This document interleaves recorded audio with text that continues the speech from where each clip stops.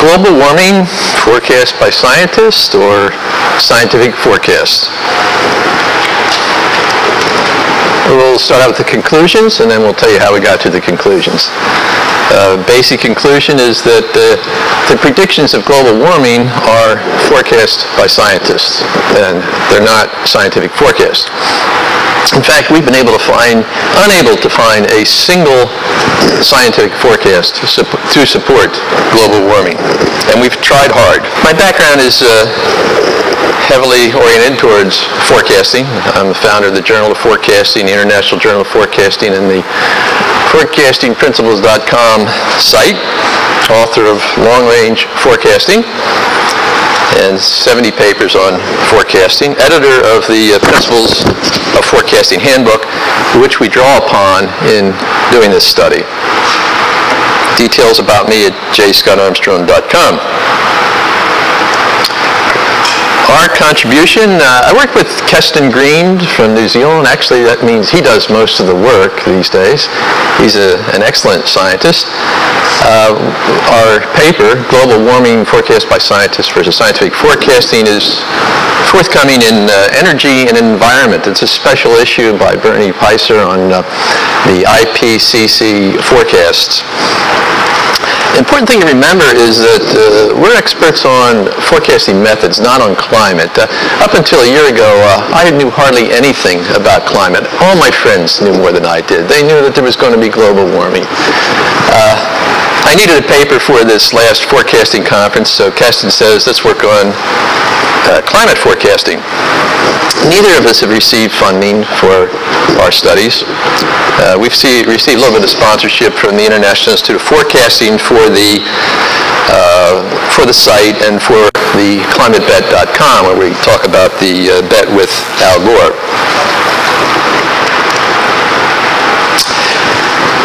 It's clear that global climate does change, but the big issue is what does that mean for the future? Can we forecast the changes? I, I like Alec Cairncross's uh, poetry. I don't like a lot of poetry, but this one strikes me. A trend is a trend. The question is, will it bend? Will it alter its course through some unforeseen force and come to a premature end? What do we mean by scientific forecast?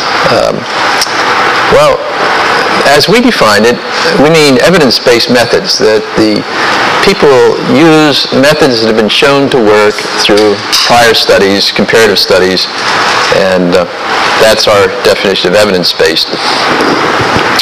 And it turns out that over the past half century, uh, there's been an amazing amount of research done on forecasting methods.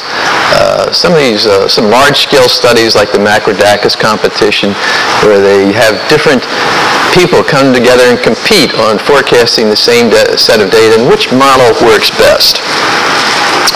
So uh, these, the results of these studies are translated into principles. So if you're in forecasting, you can go to this site, the forecastingprinciples.com site, and our uh, sort of our claim is that all useful knowledge about forecasting is provided on this site.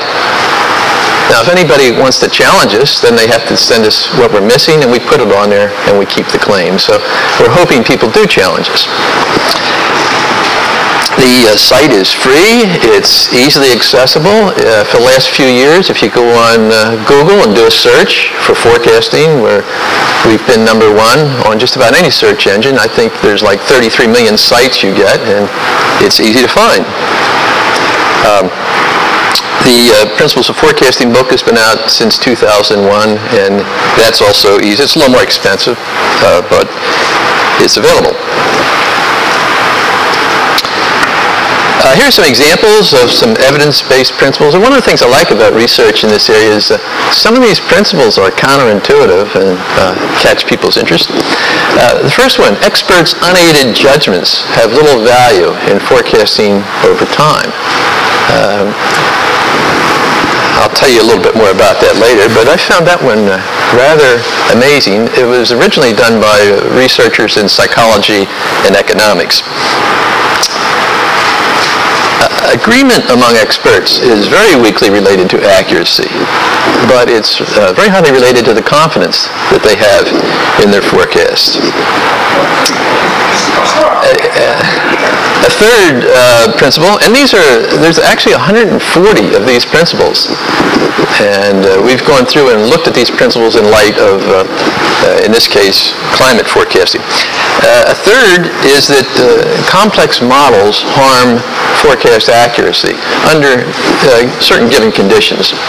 Um, and the fourth one that we pay attention to here is uh, uncertainty. When you're uncertain about a situation, you should really be very conservative about your forecast. So those are some examples.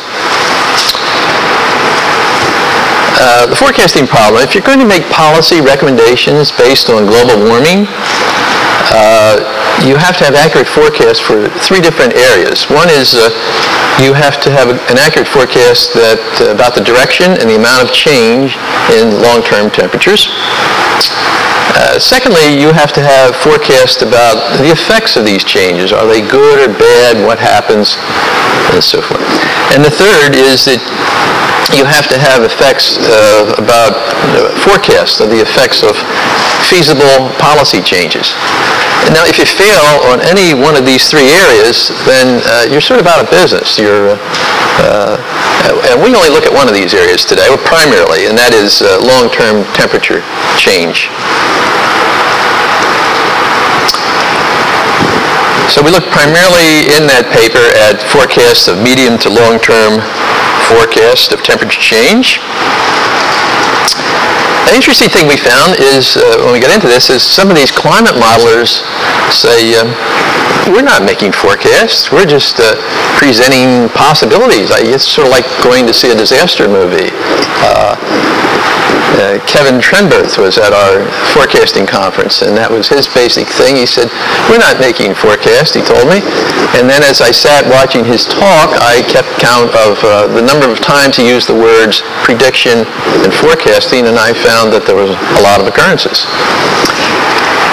They obviously make forecasts. The word forecast and its derivatives occurred 37 times. Uh, and predict and its derivatives occurred 90 times in the body of the report of uh, Chapter 8 of the 2007 IPCC report. That's the primary thing we look at. We looked at other papers, but we focused primarily on the uh, Chapter 8 of the 2007 report. What's going on then is that uh, these scientists who know a lot about climate uh, are expressing their judgments. They're expressing their judgments in how they make the model. They express their judgments in how things come out of it. They revise them to suit uh, what they believe. So uh, we call those expert forecasts. We're not uh, unusual in this respect. There's been other scientists that also have said that uh, these are just, uh, these models are just the mathematical and complex ways of expressing people's opinions. Uh, Pilkey and Jarvis uh, had this opinion. They said uh, today's, oh, and they also said that, that this 1934 uh, quote from Tesla, which is today scientists have substituted mathematics for experiments. They wander off through equation after equation and eventually build a structure which has no relationship to reality. So that was what Pilkey and Jarvis thought of